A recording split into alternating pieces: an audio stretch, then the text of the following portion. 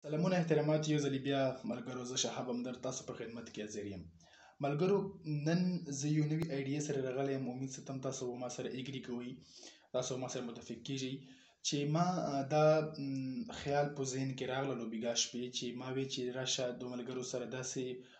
پښتنو ملګرو سره داسې هغه شوری کا چې د کتاب کتاب کتاب ته مخه وکړي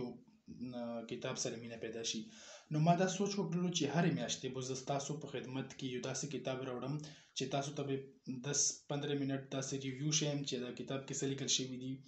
او دا به تاسو زه خپله تجزیه در کوم چې دا بوک څرنګه ده تاسو د بله صحیح ده که نه ده خاص کر کې زما پښتون کول ځکه چې زه غواړم د زړه د تله غواړم چې پښتنو دپاره یو داسې غټ کار وکړم چې هغه زما په که سبا زه دې دنیا کې نه وم نو چې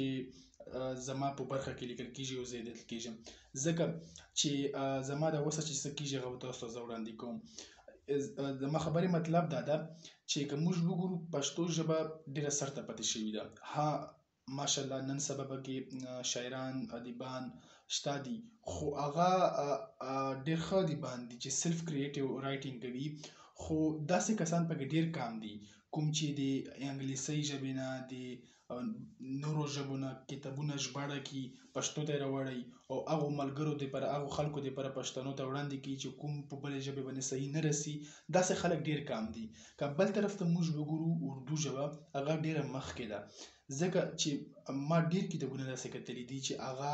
د اردو مختلفو ادیبانو هغه ترانسلیټ کړي دي ژباړې کړي دي د مختلفو ژبو نه اردو ته خو پښتو کې داسې څوک شته دي یو څو افغانستان کې یو څو رایټر شته دي چې هغه کوشش کوي لګیا دي داسې موږ پښتنو کې هم په پښتونخوا کې هم شته دي خو داسې رایټرز ما مخته نه درغلی چې هغه یو داسې ګران کتاب ژباړه کړی وي پښتو ته چې هغه ته پښتنو ته څه فائدہ رسیدلی وي مثلا اردو ژبه کې کوم ژبه ګورو دی ویل ډیورنټ ولا هیستوري اف فلسفي چې کوم ژباړه شوی دا اردو ته هغه ډیره خسته طریقې سره ژباړه شوی دا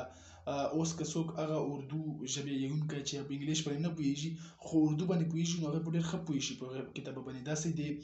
ویل ډیورنټ نه علاوه چې کوم هغه دی برټنډ رسل شو ډیر غټ فلسفر د تیر شلمې صدۍ ولا هغه مختلف کتابونه اردو ته ژباړه شوی دي نو تاسو ماته دعاګانې هم کوئ چې زه دغه ځای مقام ته ورسم چې زه د مختلفو ژبو نه کتابونه ژباړه کوم پښتو ته راوړم او تاسو ته وړاندې کوم نو اوس زه رسم خپل خبرې ته تاسو ته ګوره که موږ وګورو د پاکستان جوړېدنې نه بعد د اسټبلیشمنټ د ملټري د فوج په اسانه ژبه کې موږ دا خبره کولی شو چې د فوج د سیویلین حکومت سره ډیر تلوکات رغلي دي او ډیر مخامخ خپل کې رغلي دي خو دغه حالات هغه ټیم کې خراب شي چې کله فوج بالکل په پاکستان په سویلین حکومت کې هغه په پړ مخې وړي دا په 1958 کې 8 اکتوبر باندې دا کار وشي مختلف چې کوم ډیموکراټیک خلک دي چې کوم هغه خلک چې کوم هغه ډیموکراسي سپورټ کوي سیویلن ګورنمنت سپورټ کوي هغه چې لګیا دي فوج او اسټابلیشمنت چې کوم تیر لیډران دي هغه ډیر زیات تنقید په دریا کې راولي خو داسې چې کوم پرو ملټري خلک دي یعنی د ملټري ولې کوم خلک دي هغه بیا لیډرز چې کوم پولیټیکل لیډرز دي هغه ډیر زیات کریټیسایز کوي تنقید کوي نو په دغو حالاتو باندې یعنی تقریبا 73 سال چې کوم سر ته تیر شوی دي او زیاته تر چې کوم مرشلاز د ورزدي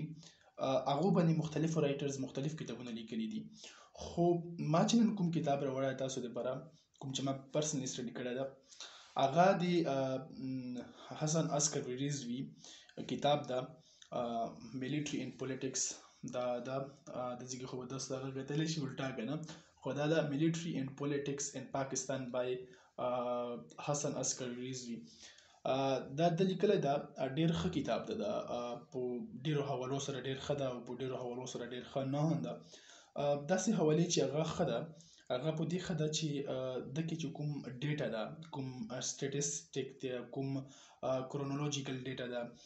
یعنی تاریخ وایز چې کومه ډیټا ده هغه ډیر خسته طریقې سره لیکل شوی دی یو خبره دویم دا خبره ده چې کوم په طریقې سره د کتاب خدا هغه دا ده چې په دې کې د بکی چې کوم دا ستاسو اوس وشیلو د کې انالایزینګ پارت خو چونګې کم ده هغه ته بعد کې زره سم خو چې کوم هغه ریفرنس دی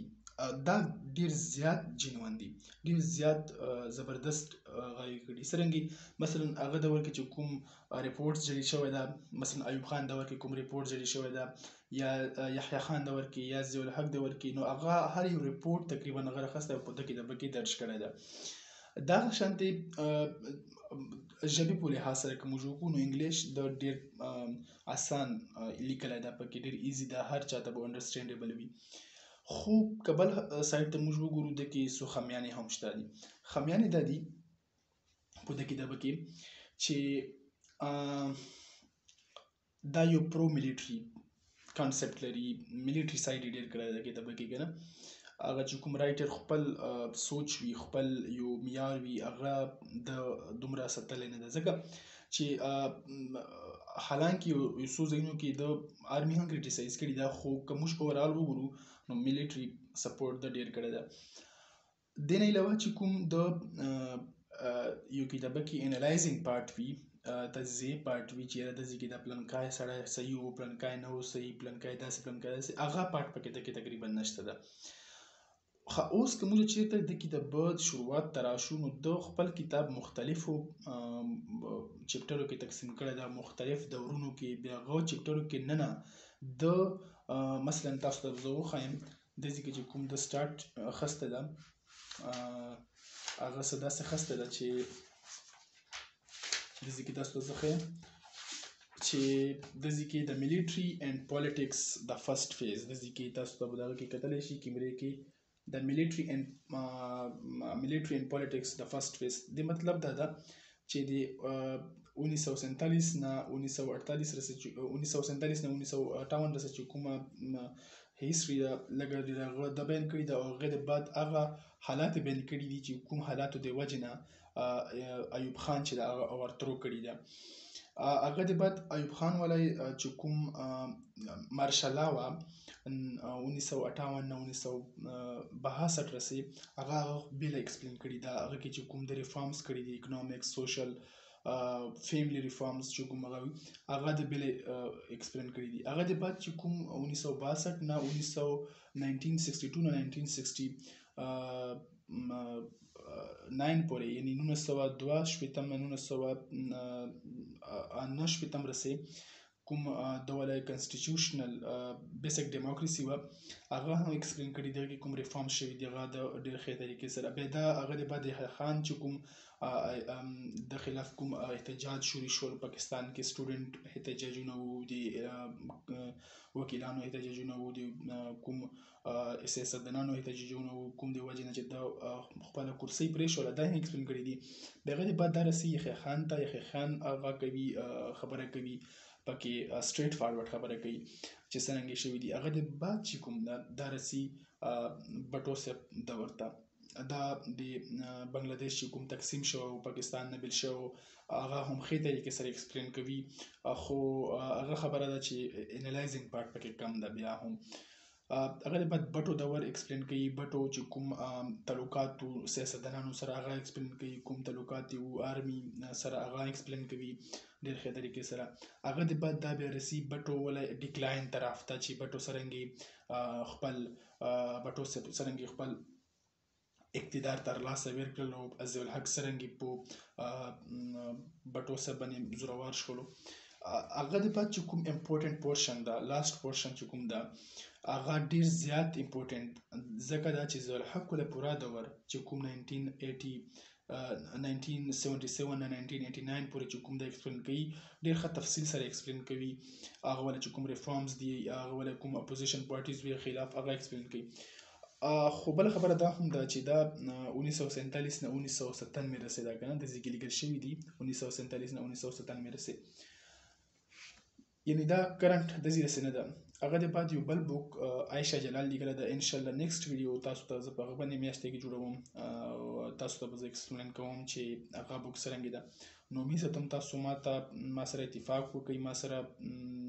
غو کوي کومک وکړي نو زه دا اراده لرم چې زه ډېر کتابونه د انګلیسي انګلیسي ژبې ولې هغه پولیټیکل ساينس باندې دي یا فلسفي باندې دي کوم هم دي چې هغه زه ژباړه کوم پښتو ته او دا به ډېره غټه فایده وي پښتو ژبې ته چې یو یو عام پښتون چې هغه پښتو لولي لوستی شي خو نور ژبو نه خبر نه وي دومره ان دومره ایجوکیټډ نه وي هغه د پر بودا ډېره فایده وي چې هغه سوچ جوړ شي دی هغه زندگی جوړ شي او بیت ستم تاسو به ما سره اوسئ ډېره مننه